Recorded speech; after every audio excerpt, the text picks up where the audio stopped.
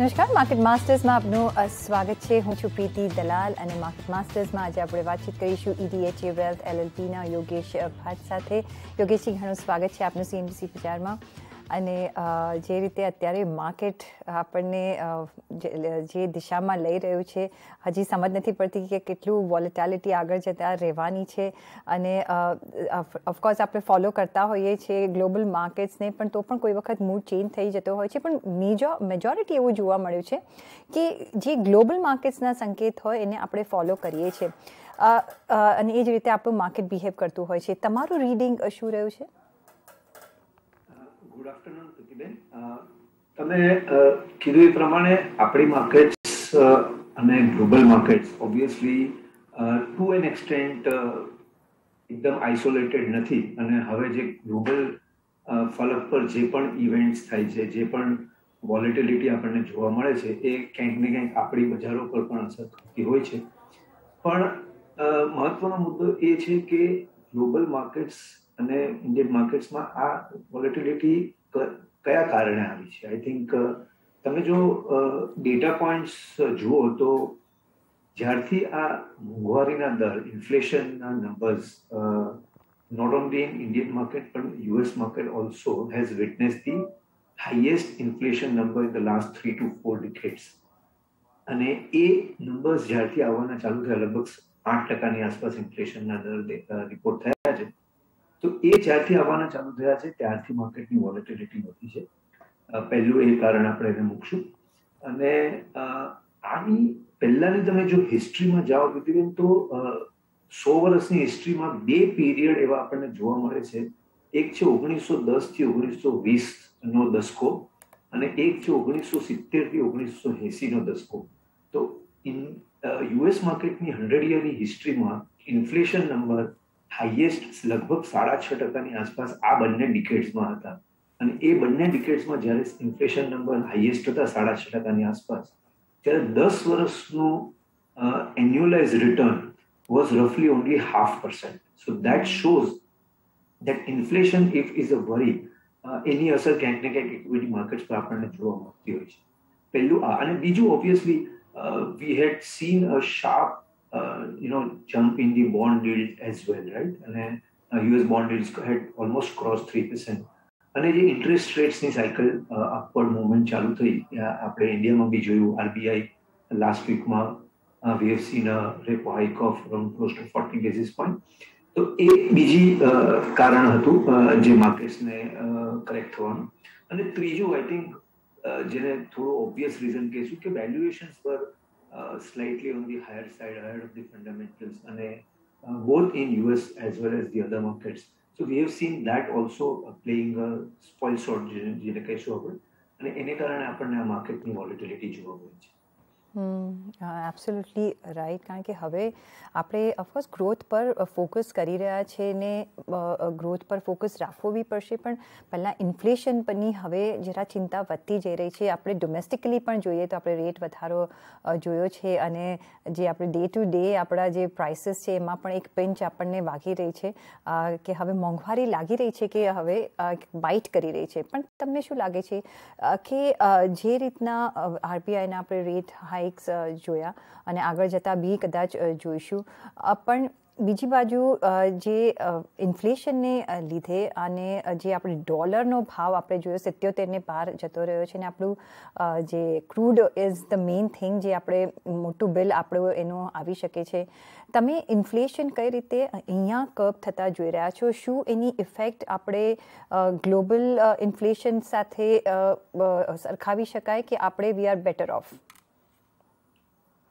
Indian market પર se is more glued or એની અસર ડાયરેક્ટ જે થાય છે એ ક્રૂડ ના પ્રાઇસની હિસાબે થાય છે. અને જો ક્રૂડ એલિવેટેડ લેવલ પર રહે upwards of 110 dollars uh, then we will have a you know impact on our inflation also અને આપણે ત્યાં પણ મોંઘવારીના દર એને કારણે પણ one of the reason we have seen the impact બીજું તમે કીધું પ્રમાણે આરબીઆઈ ઓલ્સો ઇઝ લાઇકલી એટલે market is expecting that in the coming policy in the month of June કદાચ આપણને વીસથી પચીસ પૈસાનો હજી એક ઇન્ટરેસ્ટ રેટ્સ વધારવાનો આપણને સંકેત મળી શકે છે આરબીઆઈ તરફથી અને આ બધું રીઝન ઇન્ફ્લેશનને કારણે આપણે એટ્રીબ્યુટ કરી શકાય તો to an extent I would say that trajectory અત્યારે એક અપવર્ડ ટ્રેન્ડની જોવા મળી રહી છે અને આ eventually will lead to a demand destruction અને એને કારણે આપણને ઇન્ફ્લેશનમાં ક્યાંક સોફ્ટનેસ પછી જોવા મળે.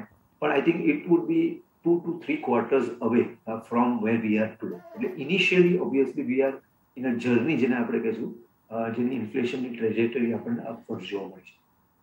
જી I was just coming to that કે પહેલાં આપણે એમ કહેતા હતા કે સપ્લાય સાઇડ કન્સ્ટ્રેન છે. સપ્લાય સાઇડથી જે પ્રોબ્લેમ થઈ રહ્યો છે, એના લીધે એક ગ્રોથનું આપણે કંપનીના રિઝલ્ટ્સમાં પણ એની અફેક્ટ જોઈ. પણ બાય ધ ટાઈમ જો આટલું ઇન્ફ્લેશન વધી જશે, તો ડિમાન્ડ સાઇઝ પર પણ આપણે એક ઇફેક્ટ જોઈ શકીએ છીએ કારણ કે જે પેલું પહેલાંનું જે હતું કે રિવેન્જ ટ્રાવેલિંગ રિવેન્જ ખરીદી કરવાનું, એ બધું હવે થોડું ટેપર ડાઉન થતું દેખાઈ રહ્યું છે. કારણ કે જ્યારે તમે એ જ પ્રોડક્ટ અત્યારે બાય કરવા જાઓ છો તો પ્રાઇસીસ આર હાયર કારણ કે એ કસ્ટમરને પાસ કરી રહ્યા છે because they also don't have choice પણ હવે આગળ જતાં જો ડિમાન્ડ પર આપણને જો ઇફેક્ટ થવા માંડે છે, તો પછી પાછી આપણી ઇકોનોમિક ગ્રોથની સાયકલ પર એક ઇફેક્ટ પડી શકે છે અને જે રીતે જે નવા પ્રોજેક્શન્સ આવી રહ્યા છે પ્રોડક્શન માટે અને આપણી જીડીપી માટે એ લોઅર આવી રહ્યા છે. કેટલું કન્સર્ન આપણે રાખવું જોઈએ એના માટે? ઇકોનોમિકનો બેઝિક રૂલ પ્રતિબેન એ છે કે જ્યારે પણ prices you know beyond level વધે ત્યારે ક્યાંક ને ક્યાંક એની અસર આપણને ડિમાન્ડ સાઇડ પર જોવા મળતી જ હોય છે. So this time also should not be any different right અને એને કારણે ઘણી બધી કંપનીઝમાં આપણને કદાચ નેક્સ્ટ એક, બે ક્વાર્ટર ટોપલાઇન ગ્રોથ જે લાસ્ટ આપણને જે ત્રણ ચાર ક્વાર્ટરનો ગ્રોથ મળ્યો એ કદાચ આપણને થોડો ટેપર થતો દેખાય. બીજું obviously margin also has witnessed already because of the inflation and other cost going up is also coming slightly under pressure અને ત્રીજું આઈ થિંક સૌથી મહત્વનો મુદ્દો એ રહેશે કે ડિમાન્ડ જે જનરેટ થાય છે એ એ demand generation normally happens through either capex or service industry to an extent કદાચ ગ્લોબલ ઇમ્પેક્ટને કારણે. તો આ ત્રણેય જગ્યાએ ક્યાંક ને ક્યાંક સોબર થતું જોવા મળે છે. તો ઓબ્વિયસલી એની અસર આપણી માર્કેટ્સ પર પણ જોવા મળી શકે છે. કારણ કે જે બે વર્ષની લોઅર ગ્રોથથી આપણે જે સાયકલ પર અપવર્ડ ટ્રેજેક્ટરી કરી, એ તમે કીધું પ્રમાણે એક બેઝ ઇફેક્ટ હતી, એની અસર પતી ગઈ છે. એટલે બે વર્ષ પતી ગયા કોવિડના છે, તો એની અસર ક્યાંક ને ક્યાંક આપણને એન્ડ થતી જોવા મળશે. અને એના પછી હવે કદાચ નોર્મલાઇઝેશનની આપણે વાત કરવી પડશે. તો એ નોર્મલાઇઝેશનમાં એક નંબર આપણે ધ્યાન રાખવું પડશે કે ભાઈ ઇમિડિયેટલી વાયો વાય નંબર્સ કરતા તમે કોઈ બી કંપનીનું એનાલિસિસ કરો કે સેક્ટરનું એનાલિસિસ કરો તો ત્રણ ચાર વર્ષનો કે પાંચ વર્ષનો પાસ્ટ કોવિડને બાદ કરી નાખો તો એના પછીનો જે પાંચ, ચાર, પાંચ વર્ષનો ગ્રોથ છે એ કઈ રીતે પેન આઉટ થયો છે? તો એ પ્રમાણે કંપનીઝને એવેલ્યુએટ કરો સેક્ટરને એવેલ્યુએટ કરો તો ચાન્સીસ છે ઇન્વેસ્ટર્સના અહીંયાથી બી પૈસા બની શકે. જે સાચી વાત કહી, કારણ કે આપણે લાસ્ટ યર સાથે કે લાસ્ટ બે વર્ષ સાથે તો કમ્પેર જ ના કરી શકીએ. એવું લાગે છે કે લાસ્ટ બે વર્ષ આપણા લાઈફના છે જ નહીં એવું લાગી રહ્યું છે ને આપણે ત્યાંના ત્યાં જ હતા ને ત્યાંથી હવે કમ્પેરિઝન કરવું પડશે. પણ એક બીજો સવાલ જે મારે પૂછવો છે before we go to the sectors જે એફઆઈઆઈઝની જે કોન્સ્ટન્ટ આપણે વિડ્રોલ જોઈ રહ્યા છે, અત્યારે મે મહિનામાં બી જોઈએ તો ઓલરેડી છ હજાર ચારસો કરોડ જેટલા એ લોકોએ વિડ્રો કરી લીધા છે અને ત્યાં હવે તો રેટ વધારા પર છે યુએસમાં અને ગ્લોબલી તમને શું લાગે છે કે એ પૈસા પાછા ક્યારે ભારતમાં આવશે? કારણ કે અત્યારે તો આપણે ડોમેસ્ટિકલી આપણે મેનેજ કરી રહ્યા છીએ લિક્વિડિટી છે. પણ આગળ જતાં તમે ડ્રાય ઓફ થતા જોઈ રહ્યા છો? એફઆઈઆઈ ઓનરશિપનો તમે જે ટ્રેન્ડ જુઓ તો ડેફિનેટલી બીએસસી ફાઈવ હંડ્રેડમાં એમનું જે પર્સન્ટેજ હોલ્ડિંગ હતું એ ટ્રેજેક્ટરી થોડી નીચે આવી છે in the last one and half year એનું ઓબ્વિયસલી એક રીઝન એ પણ છે કે not only Indian market I think across emerging માર્કેટમાંથી પૈસા વિડ્રો થયા છે. India is also one of the reason region where it has been outperforming the other markets right તમે આજે બીજી માર્કેટ જુઓ હોંગકોંગ જુઓ ચાઇના જુઓ, તો I think they done miserably as compared to India એટલે ઇન્ડિયાનું outperformance also has been one of the reason by we have seen FII selling broadly તમે જુઓ તો કદાચ આ મેજોરિટી ઓફ ધ પૈસા બ્રાઝિલ માર્કેટમાં ગયા છે. In fact Brazil performance is been quite impressive YTD performance wise as compare to other markets તો એ ક્યાંક થોડું રિશફલિંગ થયું. અને બીજું તમે કીધું પ્રમાણે કે એફઆઈએસનો આઉટલુક ઇન્ડિયન માર્કેટમાં obviously there are two reasons why uh, you know uh, any FII. One, they are looking for a growth અને ગ્રોથ વર્સિસ વેલ્યુની જે આખી આર્ગ્યુમેન્ટ છે એનો આપણે પોઈન્ટ હું તમને સમજાવું. પણ એ ગ્રોથ માર્કેટમાં એમ લાગે છે કે ભાઈ કદાચ થોડુંક ટેપરિંગ કે સોબરિંગ દેખાય છે તો why should I invest in India that is one reason why they are taking out money અને સેકન્ડ રીઝન ઓબ્વિયસલી ડોમેસ્ટિક એમની માર્કેટમાં જો ઇન્ટરેસ્ટ રેટ્સ વધતા હોય તો ટિપિકલ જે વસ્તુ થતી હોય છે કે ભાઈ flows goes back to the original destination અને એને કારણે પણ યુએસ માર્કેટથી સેલિંગ વધારે જોવા મળે છે એટલે જો ગ્રોથ વેલ્યુની વાત કરીએ તો લાસ્ટ આખું ડિકેડ ટુ થાઉઝન્ડ ટેનથી લઈને ટુ થાઉઝન્ડ ટ્વેન્ટીનો જે આખો ડિકેડ હતો એમાં યુએસમાં ખાસ કરીને growth stocks have outperformed the value stocks by almost 9% annually. So that is a huge outperformance which we had seen. And in a karana, one of the reasons why in the last uh, one, one and a half year, we have seen value coming back uh, as compared to the growth. અને of course થોડું IPO માર્કેટનું પણ એક bubble જે થયેલું unlisted માર્કેટનું જે bubble થયેલું એ ઘણું ખરું ક્યાંક ને ક્યાંક સેટલ થયું છે આજે લગભગ you know 45-50% of the Nasdaq stocks are down roughly 50% from their uh, all-time high. તો એ કરેક્શન્સ આપણને ઓલરેડી જોવા મળ્યા આ બધી જગ્યાએ તો FIIs no outlook I would say that let's not debate when they will come back I think if we will go show them the growth investors will definitely come અને તમે કીધું પ્રમાણે domestic liquidity definitely Indian retail investors Indian mutual fund investments has been happening quite steady એનો numbers આવી રહ્યો છે અને એટલે જ કદાચ આપણે આટલું એફઆઈ નું સેલિંગ એબ્ઝોર્બ કરી શક્યા છીએ અને લેટ્સ હોપ કે it will continue hmm of course let's hope for the best પણ જે રીતે આપણે આપણા માર્કેટ્સ કરેક્ટ થઈ રહ્યા છે તમને લાગે છે કે આપણે બોટમ આઉટની નજીક છે કે ફર્ધર આપણે હજી પણ નીચે જઈ શકીએ છીએ? કારણ કે પહેલાં આપણે જ્યારે શરૂઆત થઈ હતી, આપણે ઓક્ટોબર, નવેમ્બરથી આપણે જોયું હાઈ બહુ વેલ્યુએશન્સ હાઈ હતા. શું હવે વેલ્યુએશન વાઇઝ આપણે કમ્ફર્ટેબલ પોઝિશનમાં જઈ રહ્યા છે? હજી પણ શું જગ્યા છે કરેક્ટ થવાની? અને આગળ જતાં રણનીતિ શું વાપરવાની છે? જે ઇન્વેસ્ટર્સ છે. હજી આપણે કહેતા હોય છે કે buy on dip sell on રાઇઝની રણનીતિ તમે પણ સજેસ્ટ કરશો? Indian market uh, per se has always remained, uh, I would say. અને બ્રોડ નંબર્સના ઇન્ડાઇસીસ તમે જુઓ તો એ તમને કદાચ એક બીજું જ પિક્ચર દેખાડશે. દાખલા તરીકે અત્યારે નંબર્સ તમે જુઓ તો લગભગ from the peak we have corrected by around fourteen fourteen and half percent પણ જે થોડુંક વધારે ડેમેજ થયું છે એ મિડ કેપ સ્મોલ કેપ્સ સેગમેન્ટમાં વધારે ડેમેજ થયું છે.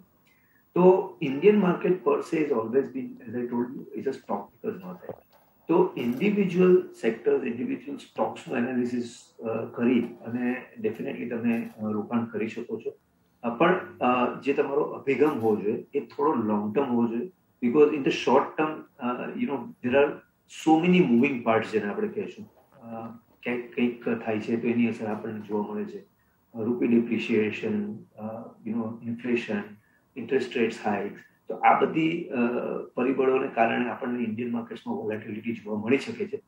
તો I would recommend investors to do maybe a strong bottom up work and take little longer term view for their investments so do you suggest કે you know પહેલાં આપણે sector specific રહેતા હતા તો હવે એક એવો પીરિયડ આવી રહ્યો છે કે we'll have to be stock specific fundamentally A company સારી છે કે નહીં કઈ રીતે આપણે ડિટરમાઇન કરવું જોઈએ કે કયા ક્યાં રોકાણ કરવું જોઈએ હવેની સ્ટ્રેટેજી શું રહેશે ઓફકોર્સ લોંગર ટર્મ માટે આપણે કરવું પડશે પણ બીજા કયા એવા પરિબળો આપણે હેલ્પ કરશે ડિસાઇડ કરવા માટે નીતિબેન જે તમે કીધું એ પ્રમાણે ખાસ કરીને sectors also, uh, we have seen some stocks, you know, outperforming and some stocks are getting beaten down uh, because of their company-specific issues. And we had seen a quite uh, sharp uh, re-rating in many sectors. Uh, દાખલા તરીકે chemical sector હોય કે consumer durable sector હોય આ બધા જે નાના sectors હતા textile for example we have seen a massive re-rating uh, which has happened in, in, in those sectors.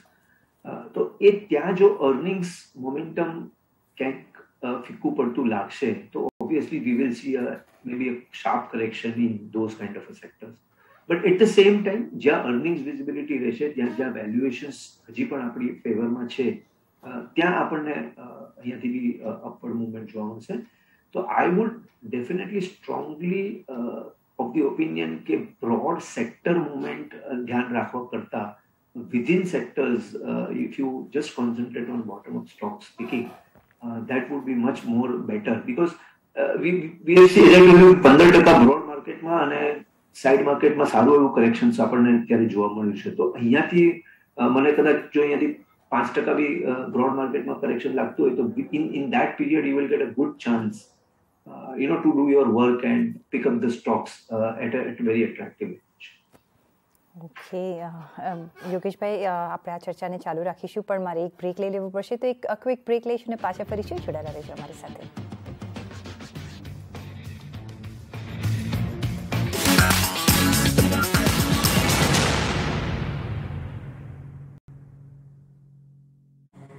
It was a dark night. With a bright idea. Guys, we need something big. Let's do what we always do something really bold. Let's take on the D segment. Let's create the big daddy of all SUVs because nothing else will do. The Big Daddy of SUVs from Mahindra coming soon. A vision becomes a milestone when it helps make a cleaner, smarter, and a more beautiful planet. So that you can set off on joyous new journeys and adventures. Building stronger bonds and bridging impossible distances, which take you from the ever new to the forever beautiful opening up vistas and windows to a vibrant new world. A vision becomes a milestone when it touches millions of lives.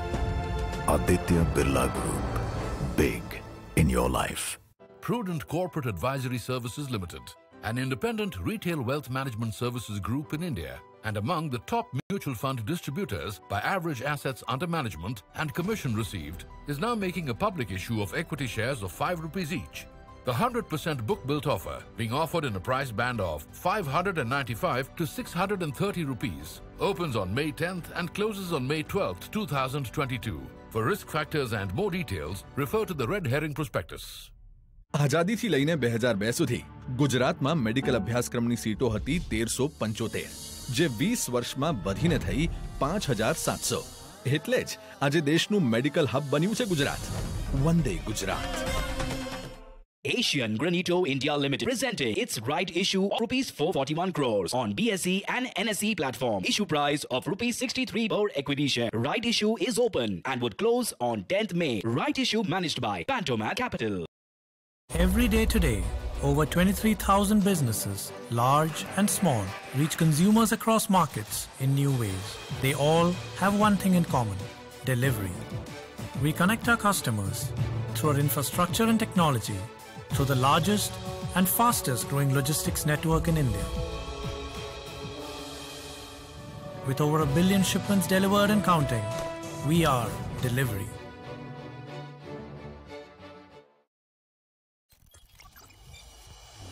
This is Network 18. And you are watching CNBC Bajar. Powered by Ebix Cash.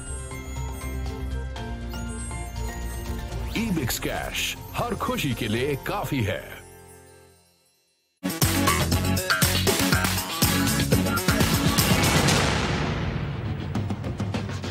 Break પછી આપનું સ્વાગત છે market માસ્ટર્સમાં અને market માસ્ટર્સમાં આપણે આજે વાતચીત કરી રહ્યા છીએ ઈડીએચએ વેલ્થ એલએલપીના યોગેશ ભાટ સાથે.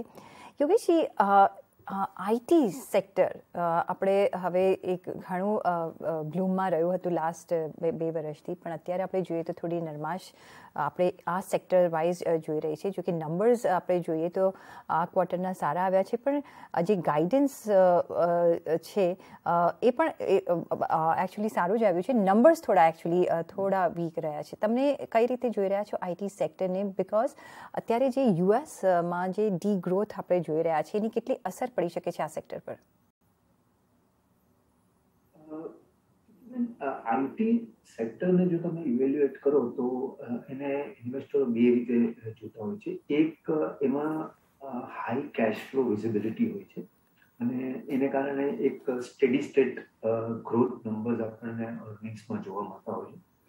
પણ at the same time high cash flow businesses, uh, if it is valued at a slightly premium uh, valuation than the market, then obviously uh, because of interest rates hike uh, and because of cost of capital going up, uh, you will have an impact on the overall valuation of the sector. So that is one. And second, historically આપણે એવું જોયું છે કે IT સેક્ટર્સમાં bottom ત્યારે બનતી હોય છે જ્યારે ઇન્ડિવિજ્યુઅલ સ્ટોક્સ અને સેક્ટર્સના જે લીડર્સ છે એ ડિવિડન્ડ યીલ્ડ બેઝિસ પર જો અટ્રેક્ટિવ બનતા હોય ચારથી પાંચ ટકાની વચ્ચે ડિવિડન્ડ યીલ્ડ જ્યારે આવતી હોય છે ત્યારે આ સેક્ટર્સને આપણે બોટમ આઉટ થતું જોયું જોયું છે પાસ્ટમાં તો આઈ વુડ રેકમેન્ડ કે maybe right now it is still trading at a little premium to be overall market valuation અને we should have at least some consolidation going on year on અને તમે કીધું પ્રમાણે કદાચ ગ્રોથ પર because of the global volatility અસર આવે તો એની અસર પણ આપણને કંઈક જોવા મળશે. પણ આની સાથે એક પોઝિટિવ એ પણ તમે રાખી શકો કે રૂપી ડિપ્રિશિએટ થઈ રહ્યો છે. ઇનફેક્ટ આપણે જોયું અને જો લગભગ ત્રણ ચાર ટકા એક્સપેક્ટેડ તમે નેક્સ્ટ બે ત્રણ વર્ષના એન્યુલાઇઝ ડેપ્રિશિએશન ગણો તો એ એક ક્યાંક વેલ્યુએશન પર સપોર્ટ થોડો મળી શકે છે. તો આ બંને પરિબળોને ધ્યાનમાં રાખીને આપણે આઈટી સેક્ટરને આપણે લખી શકીએ. જે એ સાચી વાત કહી, એ એક સપોર્ટ આપી રહ્યું છે આઈટી સેક્ટરને પણ. હવે આગળ જતાં જો તમારે ઇન્વેસ્ટમેન્ટ કરવું હોય, તો તમે કઈ રીતે કરશો? કયા સેક્ટર્સ પર તમે વધારે ભાર આપશો?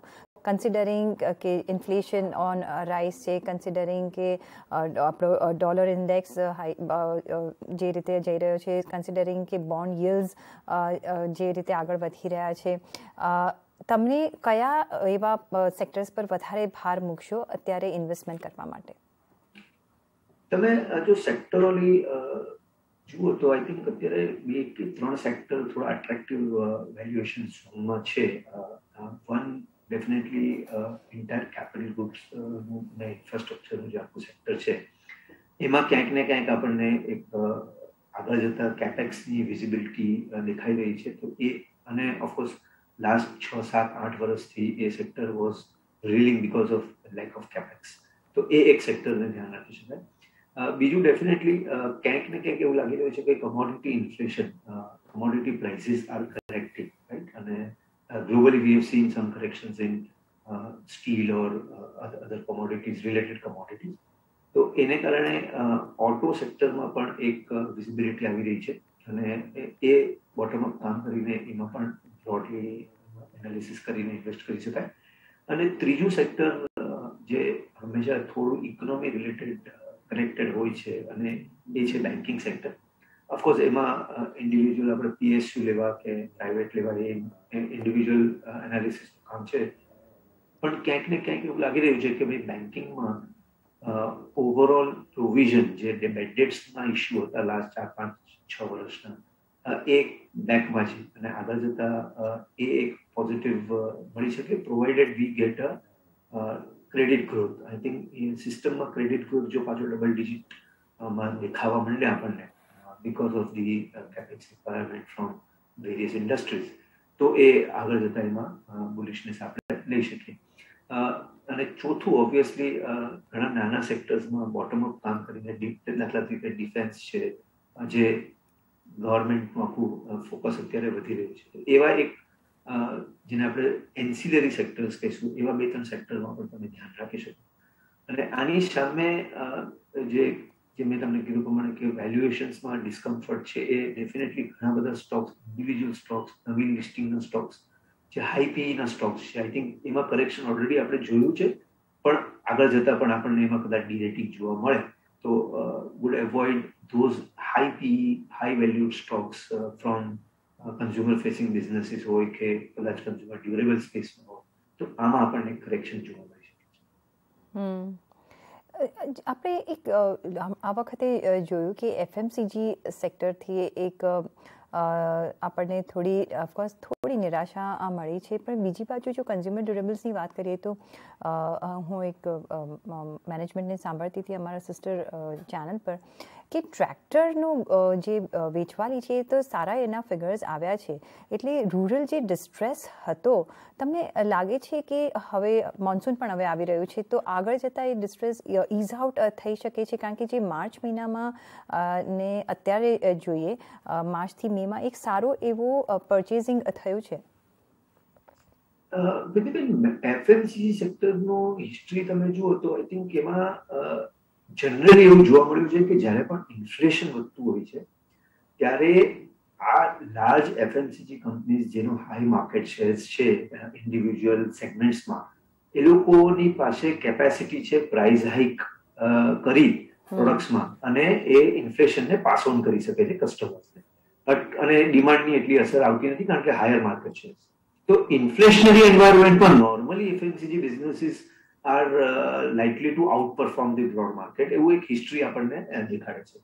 પણ એટ ધ સેમ ટાઈમ તમારે એવી ધ્યાન રાખવું પડશે કે ક્યાંક ને ક્યાંક ઇન્ફ્લેશન જો બિયોન્ડ પોઈન્ટ વધે, તો બધા પોકેટ્સને ખાસ પછી રૂરલ હોય કે અર્બન હોય કે સેમી અર્બન હોય, એ આપણી પોકેટ્સને જો અસર કરે તો આપણે કન્ઝમ્પશન આઇટમ્સમાં ક્યાંક ને ક્યાંક કાપ મૂકીએ અને ખાસ કરીને discretionary little bit high spend વાળી કાઉન્ટર્સ હોય, એમાં આપણે ડેફિનેટલી થોડો કટ કરી નાખીએ અને જે નેસેસિટીઝ હશું એને જ આપણે લેશું તો એ યુ નો એફએમસીજી બિઝનેસને કન્ઝ્યુમર બિઝનેસને ઇફેક્ટ કરી શકે. અને છેલ્લું I think most important thing is that it it's a it's a game of survival right અને ઓફકોર્સ લાસ્ટ ત્રણ ચાર વર્ષમાં ઘણું બધું કોન્સોલિડેશન આપણને આ સેક્ટરમાં જોવા મળ્યું છે. પણ competition also can come and hurt you ખાસ કરીને આખી એફએમસીજી સેક્ટરમાં તો એક ત્રણ વસ્તુ જુઓ. એક valuations are still not very attractive at the same time ઇન્ફ્લેશનને કારણે ક્યાંક ને ક્યાંક ડિમાન્ડ પર અસર આપણને જોવા મળશે. અને ત્રીજું કોમ્પિટિશન પણ આગળ જતા વધવાની છે. સો આ બધું જોતા right now I would try to avoid that sector broadly જી યોગેશભાઈ સાચી વાત કહી અને તમે જ્યારે ગેમ ઓફ સર્વાઈવલની વાત કરી I think Covid has taught us all કે કઈ રીતે સર્વાઈવ કરવું ને આપણે સર્વાઈવ થયા તો આજે આપણે વાતચીત કરી રહ્યા છે પણ ઓન ધેટ નોટ ઘણો આભાર તમારો અમારી સાથે આજે જોડાવા બદલ and it's always a pleasure having you અને એ સાથે જ માર્કેટ માસ્ટર્સ અત્યારે બસ આટલું જ. મને આપશો રજા નમસ્કાર.